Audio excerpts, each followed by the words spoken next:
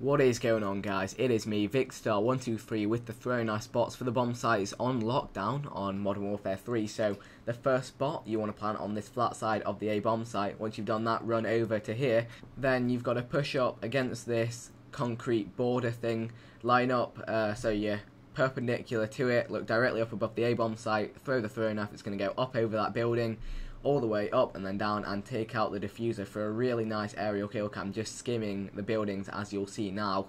And as always I've got two spots for the A bomb site so we're just about to move on to the second spot which uh, means you're gonna have to plant on this flat side of the bomb here as you can see right in the middle. And once you've eventually got that done you're going to have to head up these stairs over into the corner by this ammo crate here. Again directly up above the A-bomb site throw it and it's going to land and take out the diffuser as you're about to see for another really nice aerial kill cam over the building just going to skim the edge once again. So we're going to move on to the B bomb sites in just one second. As you see here what you need to do is plant on uh, this side of the bomb as you can see now. And once you've got it planted what you need to do is head over to the back corner by this blue car push right into the corner directly above the B bomb site throwing knife and once again going to pick up the final kill.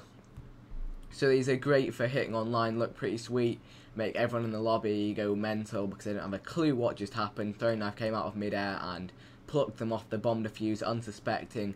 And the other spot for the B bomb site is planted on the other side of the same side of the bomb site if that made any sense.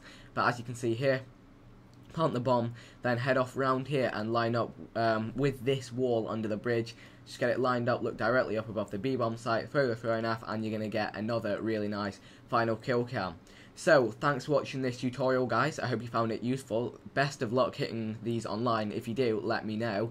And other than that, feel free to check out any other tutorials, and if you haven't already, subscribe.